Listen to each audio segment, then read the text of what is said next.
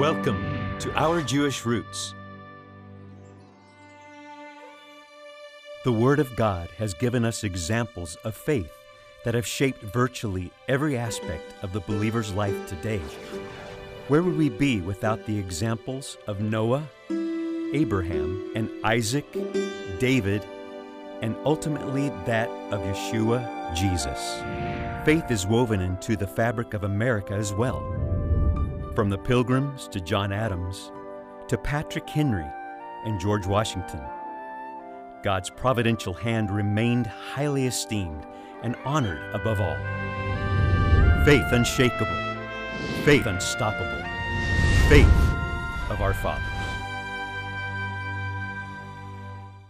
We are so glad you joined us today. I am David Hart. I'm Kirsten Hart. I am Jeffrey Seif, and we are looking at the Bible. Yes, the Bible, not just the Bible. We're interested in our founding fathers, but goodness, King David is going to come to the fore in today's program, a man full of faith.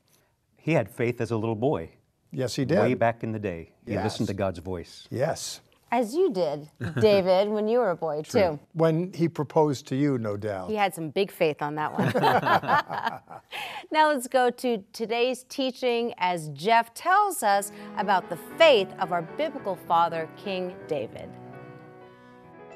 If David had so much faith, some wonder, why did he take more than one stone? We know in the biblical text that he picked up a few. We don't know why. I don't. Some think maybe Goliath had a few brothers. I don't know. But I'm going to tell you what I do know. And there's a lot to know. When we look at leadership and faith, David's a go to guy, isn't he? Let's go have a look at the book and see what he has to say.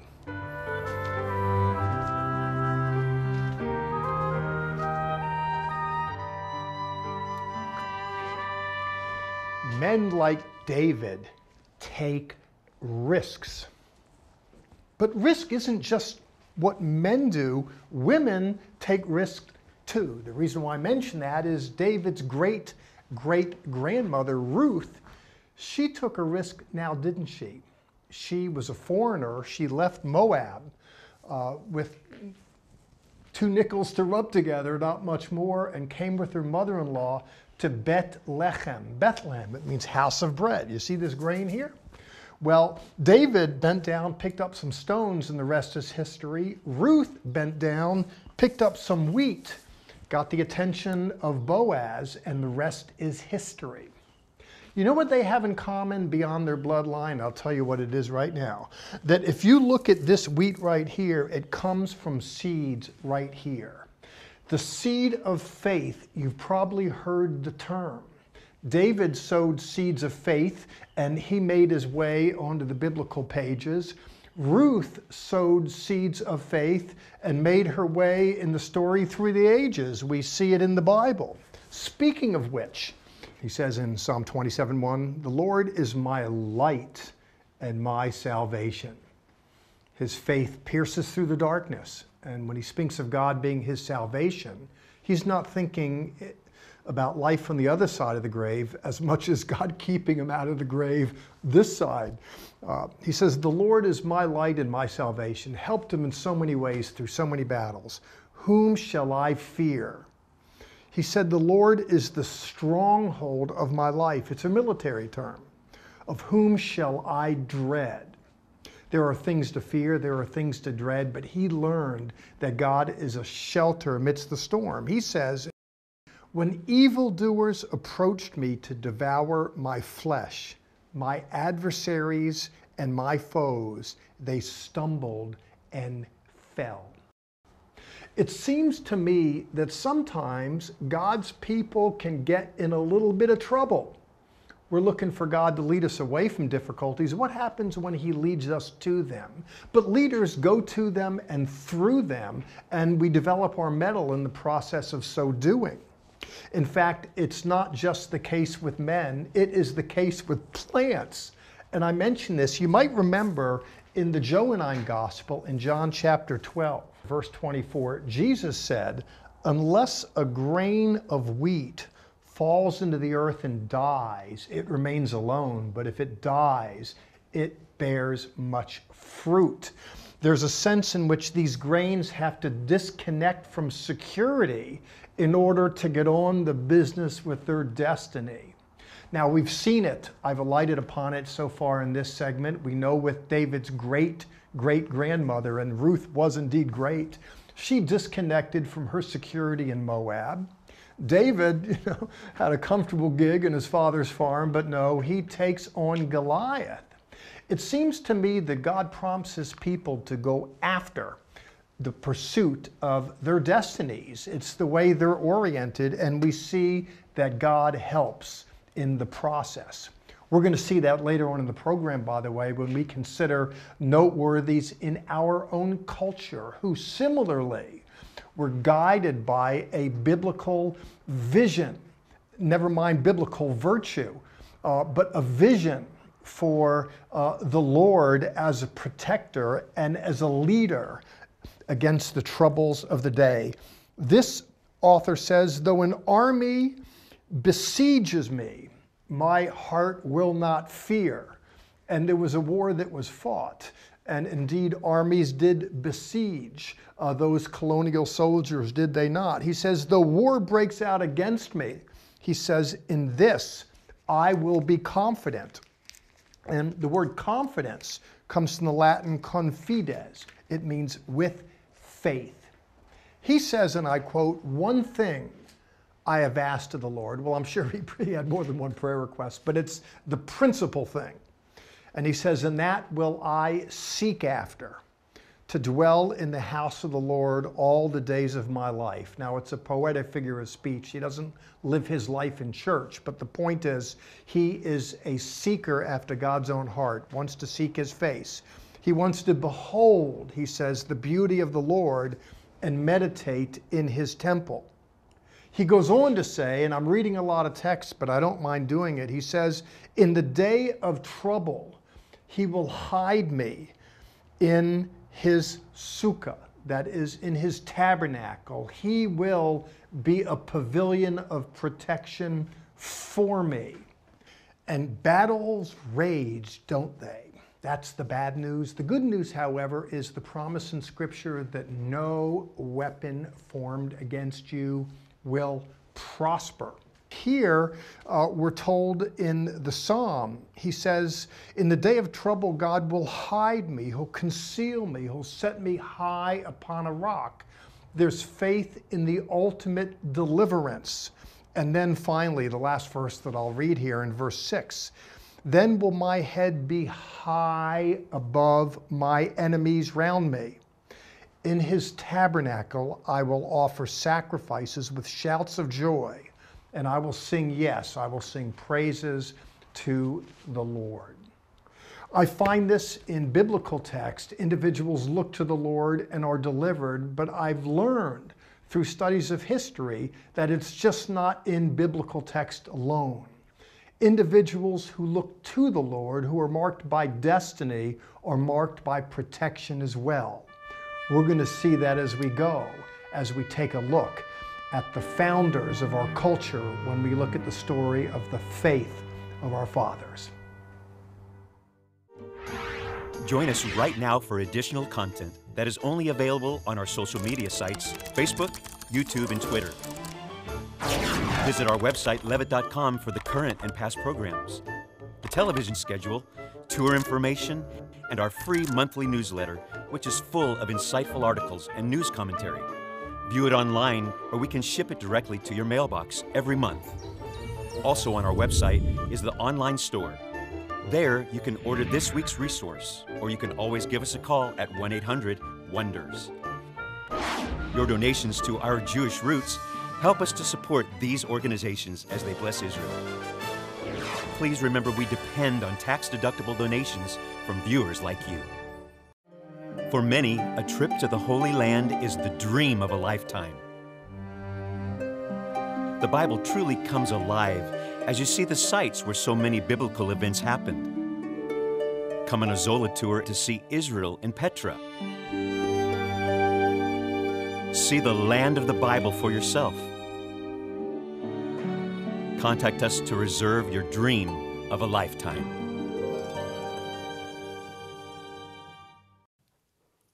Jeff was teaching today about little David, little King David, fighting Goliath, killing Goliath, and we've learned something on tour, haven't we? It's just kind of one of those fascinating things that uh, the northernmost point in Israel, Mount Hermon or Mount Hermon, they found giant bones. They still are. Right, they're still Yes. finding giant bones. It's just kind of neat. Goliath was real. There are real bones there. Here's one fascinating fact. On our tours, on a Zola tour, we actually go up north. You will be at the base of Mount Hermon, and those where those giant bones are. Yes. Thank you for helping us to slay the giants, by the way. That, uh, and for us, giants come in the form of bills associated with airtime, costs a fortune. But you know, Israelites paid in blood to push back the Philistines and to fight the giants of their day.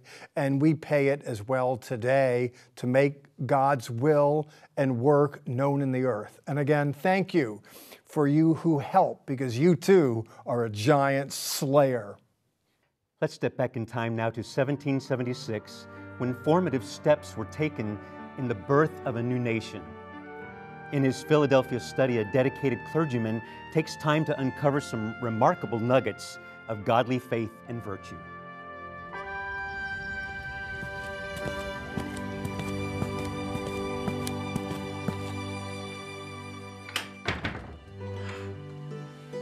Good day, Betsy. Good day, sir. Betsy, I know we've already mentioned Mr. Washington, but I must read an event that I consider to be a divine miracle as reflected in his correspondence. Oh, I want to hear about it, sir. Well, 20 years ago, during the French and Indian Wars, Mr. Washington rode back and forth on horseback, delivering orders during battle. He would later write to his brother But by all powerful dispensations of Providence, I have been protected beyond all human probability or expectation.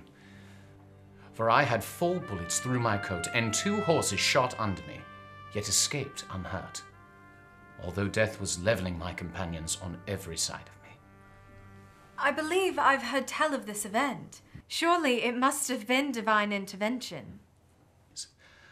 But have you heard of the remarkable meeting that took place some 15 years later regarding this event? No, sir.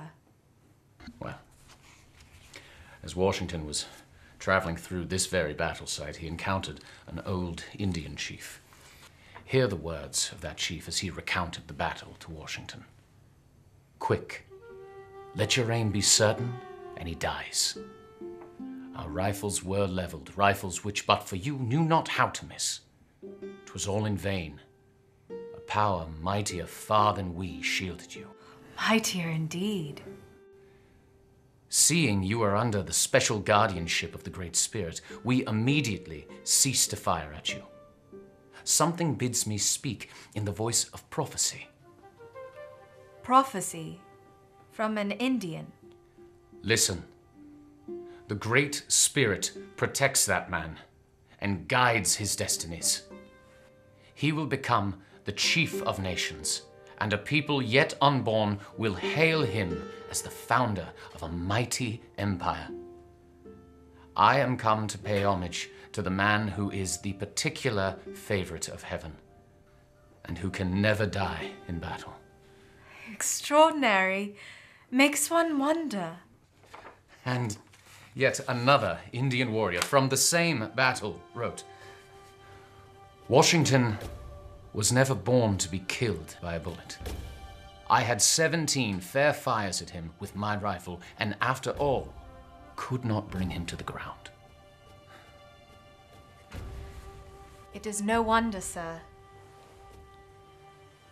that the six boats under his command fly this flag aboard their vessels. Clearly, heaven has earthly plans for Mr. Washington. I love history and love bringing to you an expert who knows it better than me, particularly when it comes to early America. David Barton shines a flashlight on George Washington, We know them, but there's all kinds of interesting things that we don't know about them, at least not till now. Here we go.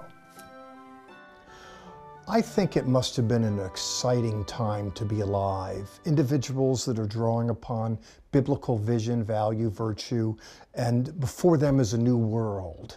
And when I look at the picture you brought with, I think of these people that are so much informed by a biblical worldview. They were informed by biblical worldview, and they really saw biblical destiny and purpose in a lot of what happened. Um, George Washington, this last episode was on George Washington. He's a great example and what we saw in that episode was so much of his young commander mode when he was a young colonel in the French and Indian War. And even the Indian chief saying, hey, you were born to never be killed by a bullet. It's interesting. That is what launched George Washington into international notoriety. That's where he became known in England as well as here. And part of the reason was a sermon like this. This is a sermon, this is actually from 1755. It's preached by Samuel Davies. And it has a little footnote down here, and it says, uh, We've just heard about this young man named George Washington, and we've heard the miraculous intervention that occurred where God saved his life. And he says, When God performs such great miracles for someone that young, we need to keep our eyes on this guy. He's probably going to be somebody special someday. And so that's the, the early introduction to America and to England uh, of George Washington. And of course, he became a military figure, what he did as a young man. Um, this actually is a military order given by Abraham Lincoln. So this is Lincoln's military order, but what's interesting is he's quoting George Washington. He's just reissuing Washington's order. And here's what it says. It says, the general hopes and trusts that every officer and man will endeavor to live and act as becomes a Christian soldier defending our dearest rights and liberties of our country. So Washington, even at the very beginning when he became commander-in-chief in the American Revolution, he says, okay, guys, I want you to live and act like a Christian soldier. I want, you, I want your behavior to be right. He, he told them in some of his orders, he said, we can't win against the British without God's help. And we can't get God's help if we take him off.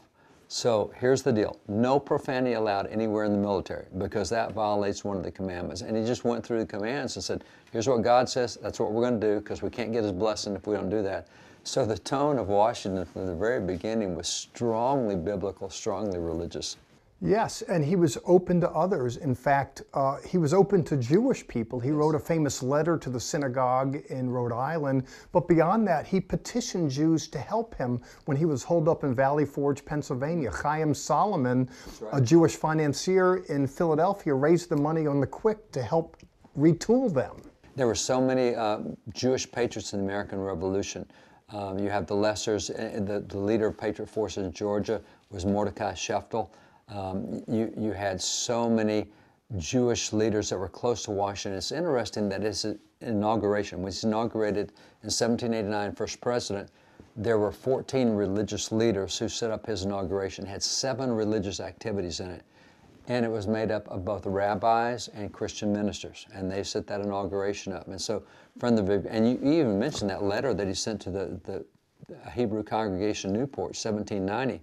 That letter is two sentences long, and in it, Washington quotes 10 Bible verses in two sentences. One of the most amazing letters I've ever seen.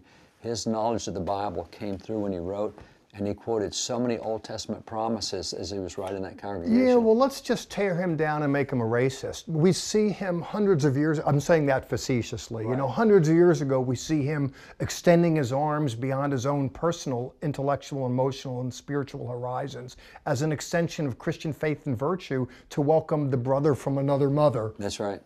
And, and it's interesting, I mean, you look at Washington, he did own slaves but it was very much against his will. He started inheriting slaves when he was 11, and he lived in a state that would not allow him to free his own slaves.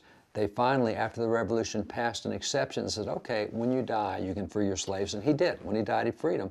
But it's interesting that as president, he signed two national anti-slavery laws.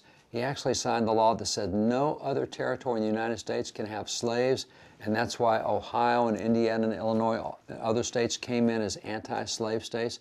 I mean, he did not like slavery. He fought against it, but he inherited slaves and his state wouldn't let him free them.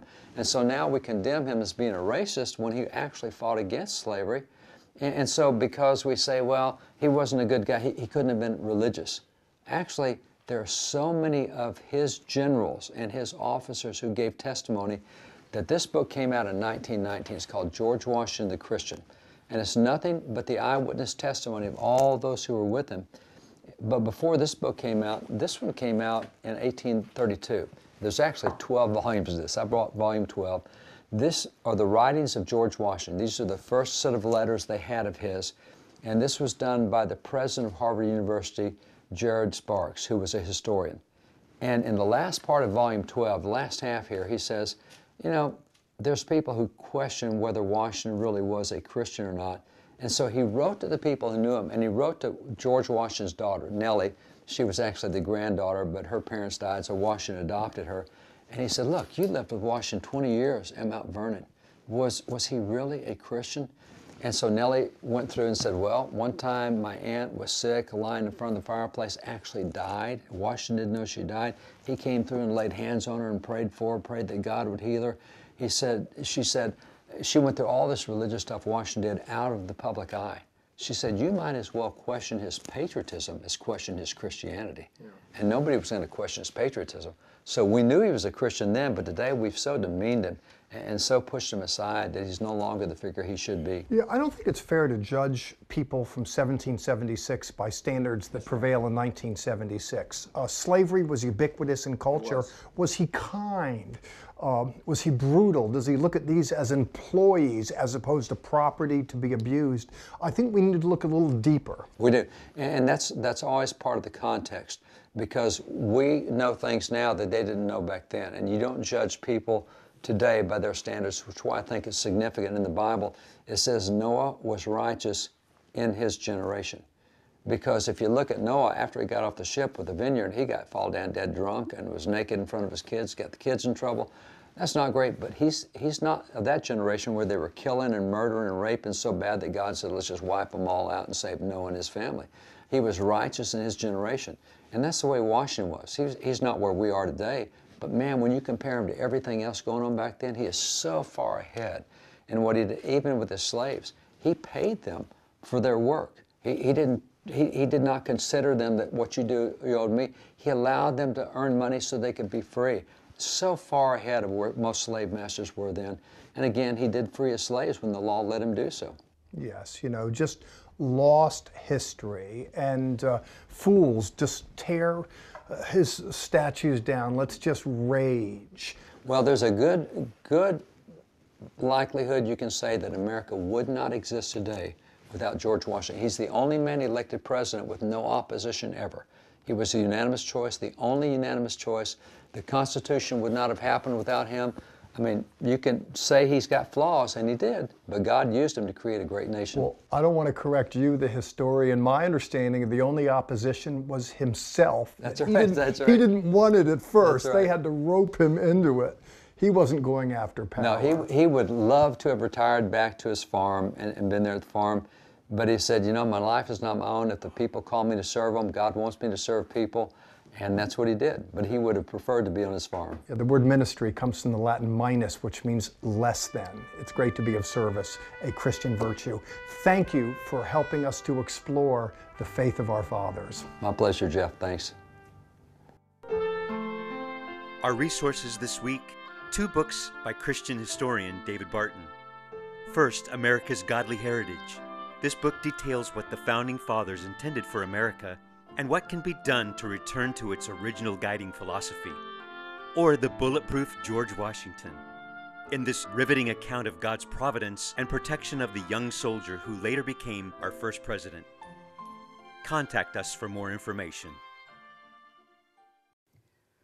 Quite the history lesson today for all of us, and we just need to get this out of the way. One thing that we didn't really realize or think about too much is George Washington. He had slaves.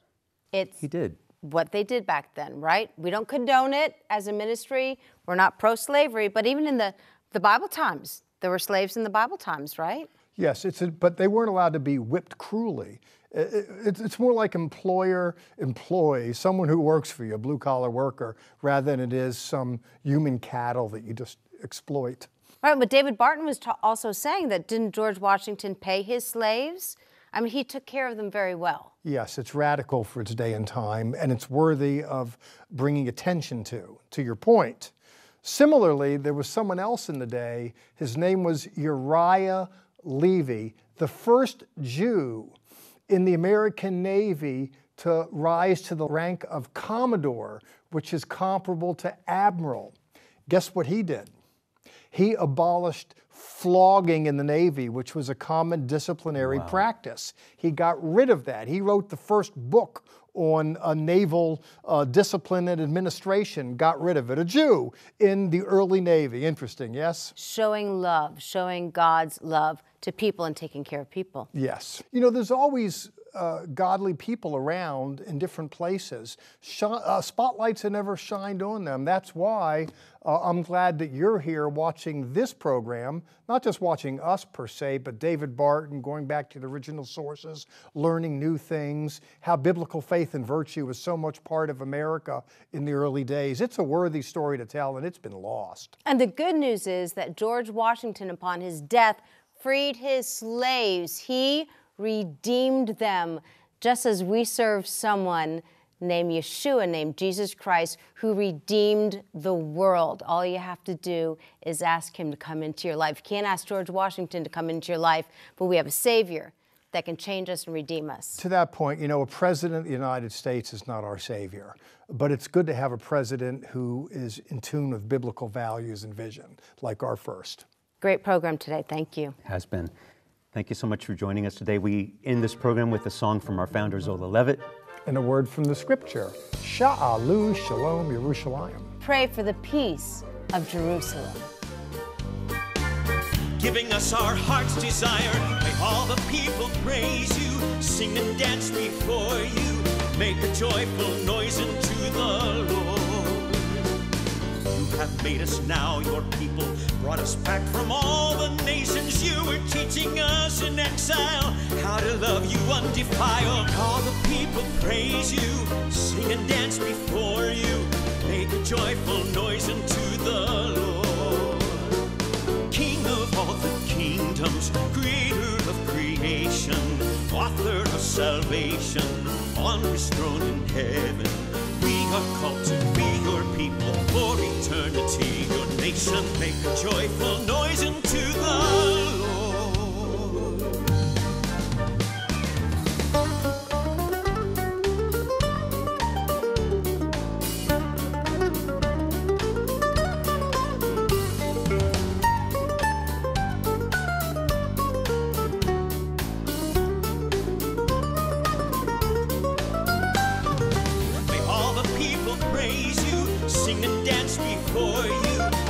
joyful noise unto the Lord.